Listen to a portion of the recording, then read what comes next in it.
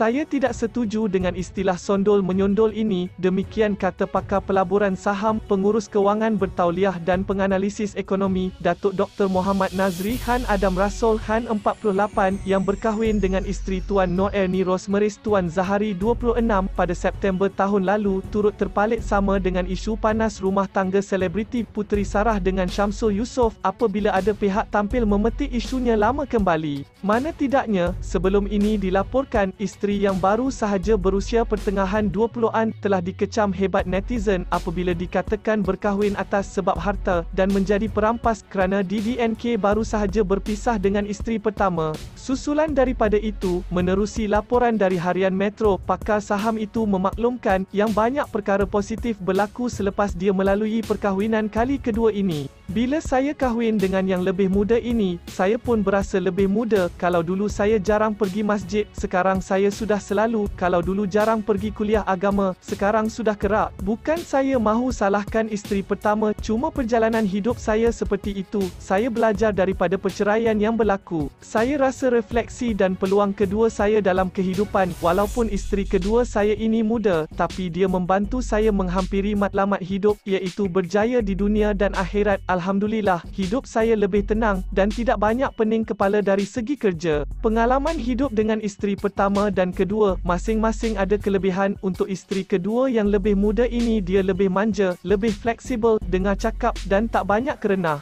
Mungkin rasa hormatnya ada di situ, tapi dia juga lebih nakal, kuat cemburu dan kuat merajuk. Kalau isteri yang dulu lebih berusia, dia lebih matang, terbuka, bersikap keibuan dan faham kehidupan tapi itu adalah pilihan kita. Keduanya hebat dan perlu tahu apa matlamat hidup kita perlukan isteri yang boleh sokong matlamat kita katanya. Jadi, dia sangat tidak bersetuju apabila isteri kedua digelar sebagai penyondol kepada isteri kedua, ketiga atau keempat hanya kerana isu Syamsul Yusof bernikah lagi dengan wanita dikenali sebagai Ira Kaza. Saya tak bersetuju penyondol dalam istilah isteri kedua, bagi saya ia tidak boleh berlaku sebelah tangan, tidak boleh rempuh atau santau untuk terus berkahwin, ia mesti bertepuk dua belah tangan. Bila sebut berkenaan cinta dan sayang, ia adalah perkara yang kita tiada daya untuk menahan, bila sudah sayang, kita tidak boleh menipu perasaan. Bila kita kata sayang, maksudnya kita memang sayang, bagi saya, tidak boleh seorang saja yang sayang untuk terus kahwin. Jadi, sondol menyondol ini tidak betul kalau daripada konteks saudara Syamsul atau sesiapa apa saja, apa yang penting adalah kalau boleh berbahagia dengan yang pertama atau kedua, itu yang terbaik.